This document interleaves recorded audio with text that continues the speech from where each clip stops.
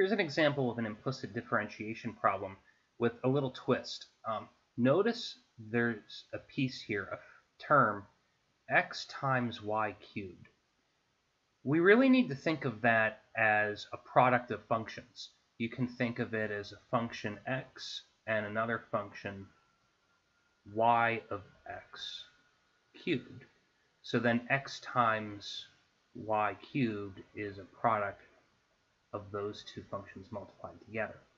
So if we're going to take the derivative of this term in our implicit differentiation calculation, we have to treat it as a product of two functions of x, which means we're going to have to use the product rule. Let's see how that works. As usual, we start by taking the derivative with respect to the variable x on both sides of the equation.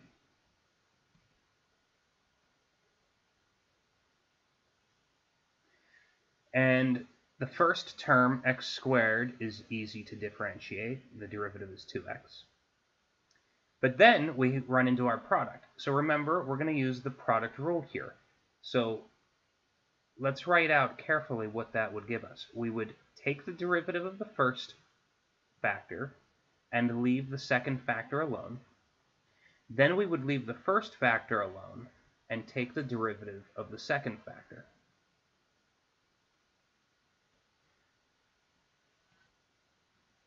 So all of that comes from taking the derivative using the product rule.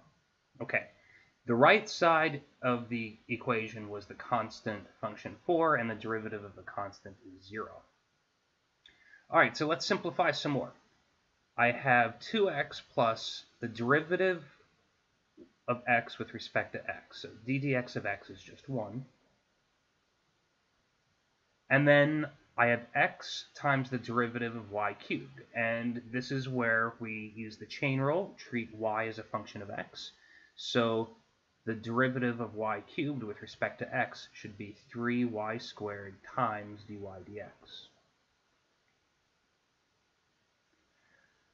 So now we can do the standard uh, part of this calculation where we isolate dy dx. Let's first move the terms which do not have a factor of dy dx to the right side of the equation.